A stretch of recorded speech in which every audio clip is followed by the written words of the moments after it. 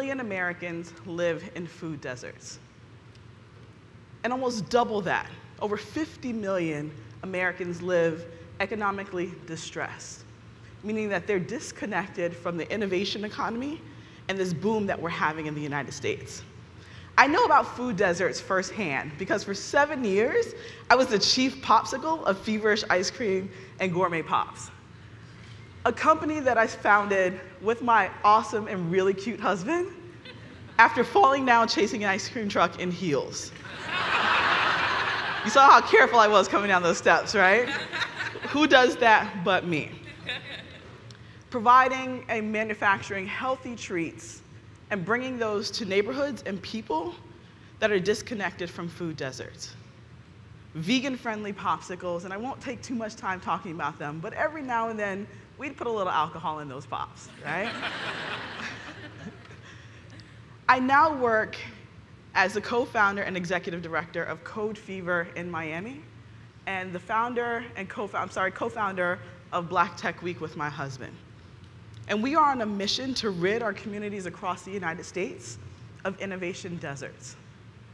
50 million people in the United States are disconnected from the innovation economy. What can we do about that? What should we do about that? I used to play basketball. I played basketball for a pretty long time. Uh, you can tell by my height a little bit, right?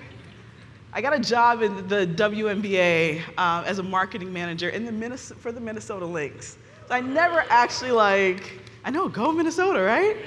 I never actually made it to the leagues, but because I was able to work for them in marketing, I take that as like a win, right? Like, I feel like I got drafted in some sort of way. But my high school basketball coach would always say, You're only as strong as your weakest player. And our communities, our cities, our blocks, our neighborhoods, our countries are only as strong as our weakest people. And so, what can each and every one of us do to rid our communities of innovation deserts? Through the work that we've done with Black Tech Week, a national convening based in Miami that brings people of color from all over the globe to Miami to celebrate innovators of color, but most importantly, connect them to the resources so they can be active participants and financial beneficiaries of the innovation economy through our study, the Economic Development and Inclusive Innovation report that we've done with our organization, we've come up with a few key things that we think are important when we talk about innovating and ridding our communities of innovation deserts. The first thing is innovation hubs and co-working spaces in these communities that are disconnected, that I don't like to deem impoverished communities, but low opportunities communities. We know these collision points and what they can provide to these communities as a catalyst for innovative conversation, but most importantly, innovative activity.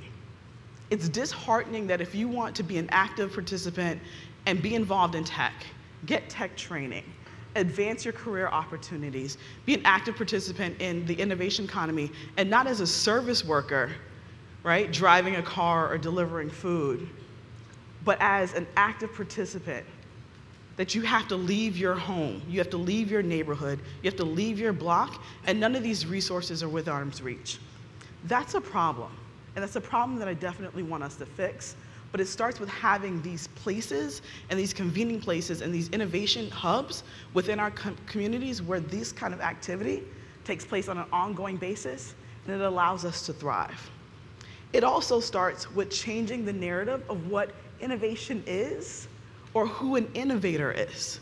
There's kind of a stereotypical mold of what we think an innovator is, and that's a problem. Because if we don't think that someone that looks like me, right, or a woman, or someone from an LGBT community, right, or someone from an indigenous community, or an immigrant is an innovator, that group, those group, lack a certain kind of resource magnetism that is extremely important for them to be able to excel in the innovation economy. The other conversation that we don't often have around innovation and inclusive innovation and ridding communities of innovation deserts is policy. Right, so often we immediately go to, we need to do coding training and we need to find jobs. And we're not looking at it from a top-down approach. Oftentimes this activity is bottom-up, right? Grassroots organizations working really hard, and both of those have to be able to meet in, in the middle and provide some policy, redirect, redirecting funds and resources, working with community re redevelopment agencies to be able to build these spaces, house this kind of programming, and foster the innovation. We've been fortunate enough in Miami to be able to be funded by the Knight Foundation to do this work. Miami was an innovation desert four years ago when we first started, especially as it relates to the African American, Caribbean, and the low income Hispanic community. Most people think about Miami as this bustling area. It's one of the leading or um, cities when you talk about entrepreneurial growth, but it has 13 targeted urban areas that were innovation deserts, and we have to do something about that. And it starts with policy. It also starts with creating asset maps, right? So there's all these resources that currently exist in cities that people are disconnected from because they don't know how to navigate that.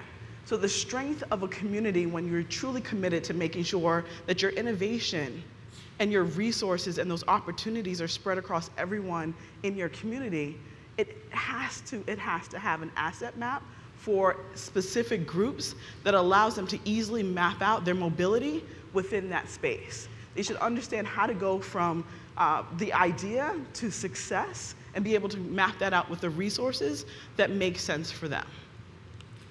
VC in residence or residence programs. This is something that we launched to solve a major problem with the entrepreneurs that we were working with is around funding and not having access to funding for minority entrepreneurs. And not just the funding pools, but most VCs aren't meeting with you unless someone that they know and trust introduces you. And so what happens if you don't even have that person to introduce you to that person? You're completely disconnected from the funding in our organization, in our office, we always joke around and say, what if your friends and family can only give you a round of applause and not a round of funding, right? what do you do? But the same thing happens with your community, right? And we can't joke about that. What if your community can only give you a round of applause and say, good job, good luck. You may not have all the resources, but we expect you to succeed just the same. And so we have to challenge our communities that we live in to be more supportive and provide wraparound services for our entrepreneurs, and not just uh, minority entrepreneurs, but rural areas as well, because they are disconnected from the innovation economy. Innovation funds. There are some communities across the United States that do a really good job of that. You think of Ohio with the Jumpstart Fund, you think of Detroit with Invest Detroit, you think of what's going on in Atlanta but I have to admit, even where I live, there's not an innovation fund for high growth minority companies in the tech space or launching startups. And that's a problem. And we can do a much greater job if we want to build and foster innovative companies. They need funding. They need the luxury to be able to innovate. They need to make sure that basic Maslow's needs are met so that they can actually innovate. That takes time. That takes money that takes resources, and that takes a really true commitment. Another thing that we can do when we talk about government, local, state, and federal, and we talk about organizations, and most importantly, we talk about how major corporations in our communities can play a major role, outside of funding from angel and VC funding and innovation funds, are procurement opportunities, right? The best thing that a business can have and a startup can have is customers, right? And contracts. And this is an easier pull sometimes than creating an innovation fund. And this is something that we can definitely do on a local level to make sure that those contracts are there. Make sure that we're matching budding startup founders with opportunities within these corporations. Value is another thing, and one of the most important things that we have to understand.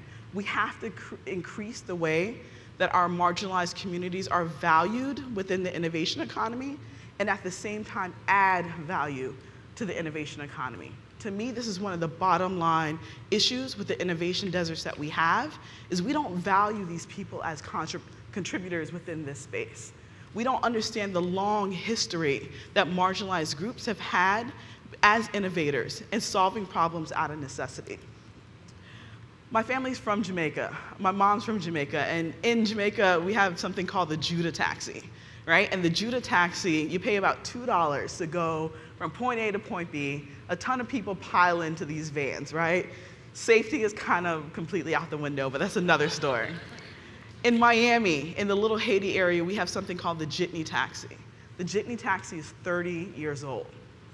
The utility of those two companies in Jamaica, in the Caribbean, here in the United States, one, solving a transportation issue, but two, the same utility is no different than Uber Pool, right? Solving a transportation issue, people piling in with strangers, paying a few dollars to go from point A to point B. With the right resources in the communities, with the right deal flow in the communities. It's not for a lack of ideas, because this guy essentially created Uber Pool 30 years ago. We can make sure that we are building communities that are strong, that are innovative, and raise the potential and the capacity for competitive, competitiveness. Oh my gosh, right? I didn't get my coffee. In the United States, if we make sure that we are ridding communities of innovation deserts. Thank you.